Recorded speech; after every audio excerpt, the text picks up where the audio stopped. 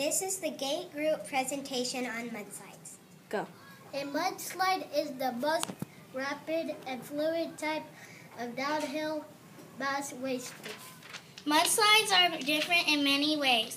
They are different because the same because the the they come in many different ways. They also come in many different places.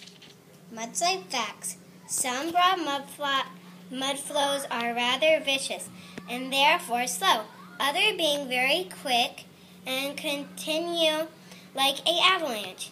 If large enough, they can destroy villages and countryside. Mudslides are usually caused by heavy rain or sudden thaw.